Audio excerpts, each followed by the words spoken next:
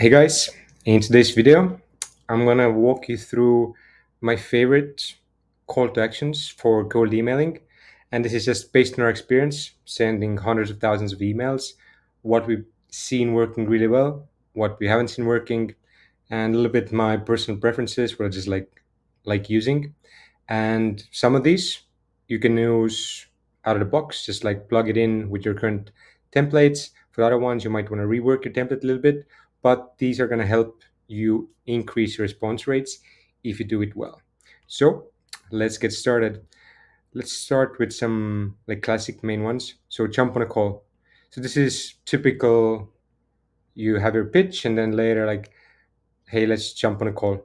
Uh, do you want to jump on a call? I'd say this is right in the middle. It works, but it's overused.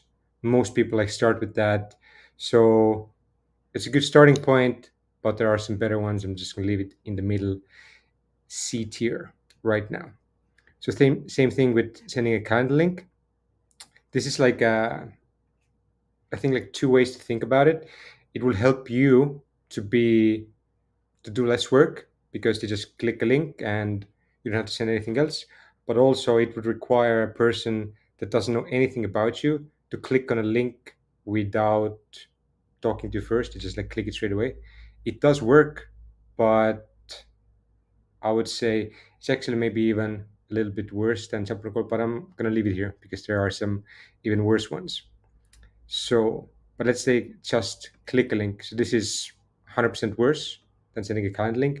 You just ask them to, hey, click this link to see more, uh, click here to do it. So mostly, if the person doesn't know about you, like I never click weird links. I don't know if you do, like nobody likes to click links. So if you can avoid it, don't send links in this first email. You can send it later and there are some other ways of uh, asking if you can send links like that's much better. So i would add it here. And same thing with deliverability. If you don't send links in your first email your deliverability should be higher. So but a broken link is actually interesting uh, i'm going to add it to c just because of the creativity so what we did was we sent a very personalized email and the call to action was, hey, I made this Loom video that explains exactly how it works. Check it out. And if they click the Loom link, it's actually broken. And then they will respond back, hey, the link is broken. And then you actually do the video and send the correct link. So this way you can send links at scale, very relevant, but you don't have to create them before the recipient actually responds and wants to see it. So I like the creativity, so I'm gonna put it here, uh, C Okay. would you be against? So this is getting better. This is what I like. Uh, and this is also from Alex Hormozi. So instead of asking, do you want to jump on a call? Like, no, not really. But if you ask, would you be against jumping on a call? Would you be against X? That's much better. Like I, I'm usually not against it if it makes sense to me. So it's definitely higher than just jumping on a call. Then even better is asking permission. So I got this from Charlie and I really like this. So this you can combine with pretty much all the other call to actions, but you ask permission first. So like, hey Alex, I know you get pitched a lot and I don't want to pitch you without knowing if you'd be up for it. So is it okay if I send you more information? Is it okay if I send you a link? Is it okay if I send you my current link? Is it okay if I send you a blog post? Just instead of being the pushy salesman in like shopping mall or like in the streets, just comes up to you and starts selling you, pushing it down your throat. You're just taking a step back and you're putting them in charge and having them decide like if they want it. So is it okay if I send you a link? I don't want to pitch you without your permission. And if they say yes, then you send it. Okay, then choose A, B. So let's say again, this is a little bit better than just jumping a call. So instead of asking like, do you want to jump on a call? You give them like two options. Are you open Thursday or Friday at 2 p.m.? So this is more specific, more better. Uh, and it can be different kinds of, uh, it doesn't have to be a specific time. It can be whatever you want, but you just give them two answers. It can even be A, you want to jump on a call, B, not interested right now if you just give them options, you will get more responses and you give them like a super easy way to respond. So instead of asking like, when are you free? You give them uh, respond with A if you're free on Friday. Respond with B if you're free on Thursday.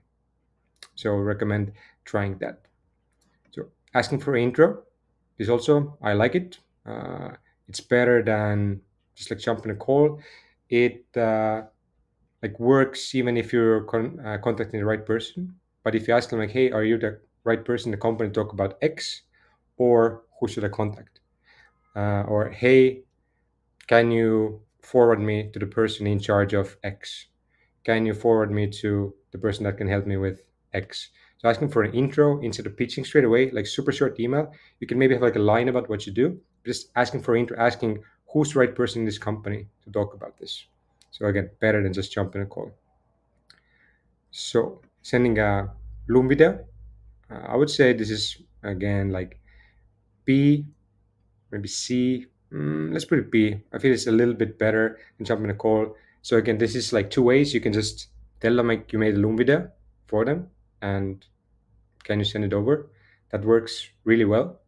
So instead of just jumping a call or sending your pricing page in text form, just add the Loom video in there with the call to actions and we'll get a little bit more responses.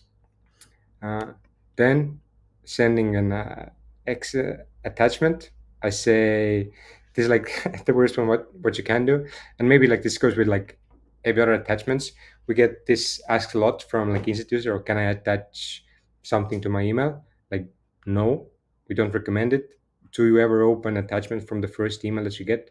You can send attachments later when they're already interested, like, hey, there's a PDF that explains what we do, or can I send over a PDF that explains what we do?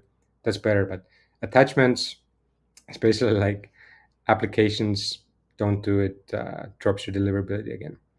And then podcast invite. So this is S tier for sure. It takes a little bit more effort because you need to have a podcast or you want to make it seem like you have, but people will respond to this. And same, I will put it together with the research request. So this is a little bit easier than podcast. You don't have to have a podcast, but what you do is you res- reach out and you tell them like, hey, I'm doing research or I'm writing a blog post about X, the niche that you're going after. Would you be down to jump in a quick call? I want to ask a few questions. Later, I can like add your information and send you some traffic. So this works really well.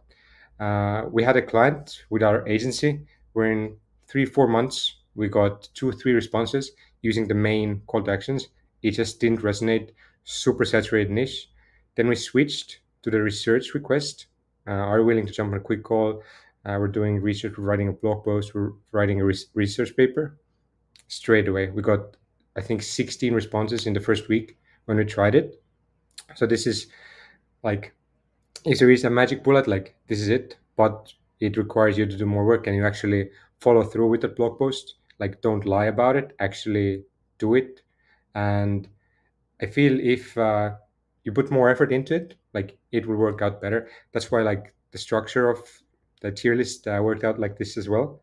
So I feel if you send 100 emails, you will get most responses with these. Then, if you ask permission and combining it with other call to actions, and then the little bit better versions of the main jump and call ones. And then uh, all of these lower ones, we haven't had much success. This doesn't mean they don't work. Uh, there are some specific cases where they might be even better or like higher, but it's just based on our experience, uh, what we've seen. So if you want to improve your response rates and you haven't tried some of these uh, call to actions, give them a go and let me know how it goes. Thanks. See ya.